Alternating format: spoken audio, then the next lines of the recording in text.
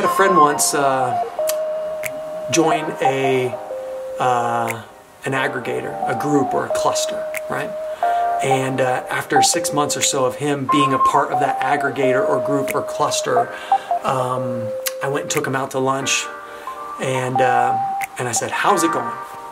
And I very clearly remember that friend of mine saying, "It's been really bad. It was. It's been really, really bad."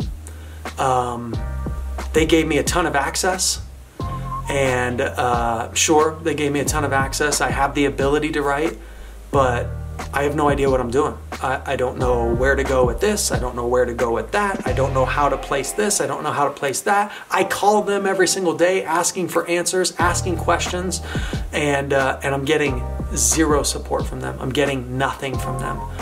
And, uh, and that's always resonated with me. Um, the decision to join a group or an aggregator or a cluster or whatever you want to call it. Uh, is such an important decision. And it is so much more than just access.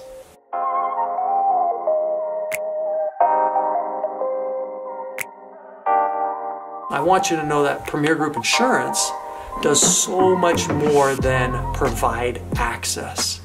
All day long, every day, we're providing value to hundreds and hundreds and hundreds of agents across the country.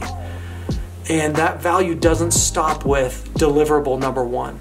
That value continues to be provided throughout the course and life cycle of an independent insurance agency. And if you hold on and watch for more videos, you're going to see just exactly how we provide that value day in and day out to hundreds and hundreds of agencies across the United States throughout the life cycle of independent agency ownership. So